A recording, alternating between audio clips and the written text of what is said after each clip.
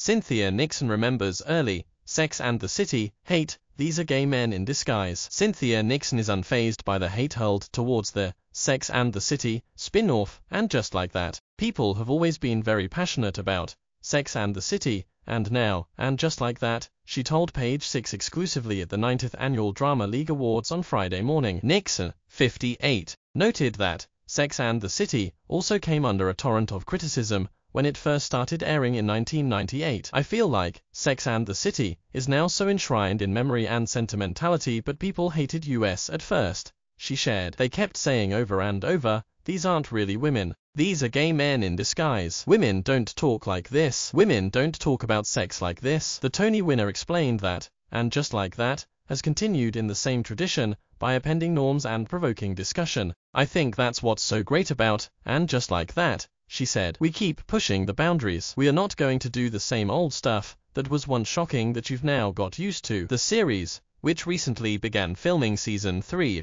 came under backlash in the first season for the non-binary character Che Diaz, played by Sara Ramirez. The Grey's Anatomy alum, who also identifies as non-binary, addressed the hubbub in a 2022 interview with the New York Times. I'm very aware of the hate that exists online, they said, but I have to protect my own mental health and my own artistry. Ramirez, 48, continued, and that's way more important to me because I'm a real human being. I'm really proud of the representation that we've created. We have built a character who is a human being, who is imperfect, who's complex, who is not here to be liked, who's not here for anybody's approval. They are here to be themselves. The Madam Secretary alum's character was a comedian who embarked on a relationship with Nixon's role as Miranda Hobbes. Many fans were upset that Hobbes split from her husband, Steve Brady, and followed Diaz to California. However, the fictional couple split in season 2. Ramirez will not be returning for the forthcoming season.